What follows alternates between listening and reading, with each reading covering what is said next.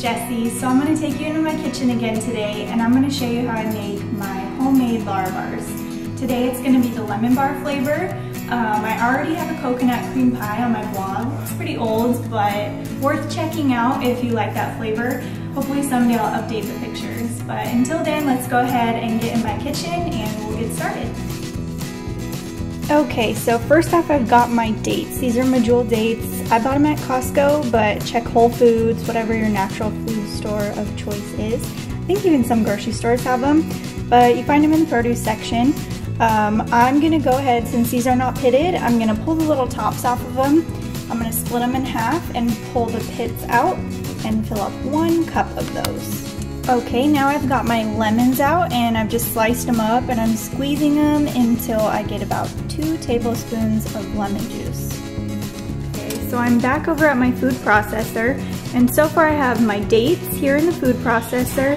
I just have my regular chopping or pulsing blade in. Um, so I've got the dates in there, all the whole one cup of them. And then I put one tablespoon of warm water just to keep it really soft and make it blend really well together. So I'm gonna go ahead and I'm gonna put my top onto my food processor and I'm gonna pulse the dates until they are kind of like a paste and they all blend together. Okay, so the dates should look something like that. They're almost like a doughy paste. They're all kind of clumped together. So next, I'm gonna go ahead and I'm gonna take my one half cup of cashews and one half cup of raw almonds um, the cashews are raw as well and I buy the pieces, they're cheaper. So I'm gonna take each of the half cup of those and I'm gonna put them in with the dates and I'm gonna pulse until the nuts are just broken up into small pieces, just however big you want them to be to bite into. Alright, so a little troubleshooting here. The dates are all kind of in a ball and the nuts are getting chopped, but they're still kind of sticking to the outside of the dates and I want them to all blend together.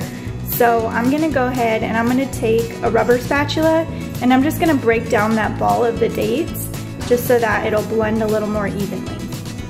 All right, so it's looking really good. Nuts are all broken up. Now I'm gonna go ahead and I'm gonna take my lemon juice that I have right over here and I'm gonna get two tablespoons of lemon juice and put that into our mixture. And I'm gonna do just one little crank or a dash of this sea salt that I have in my grinder.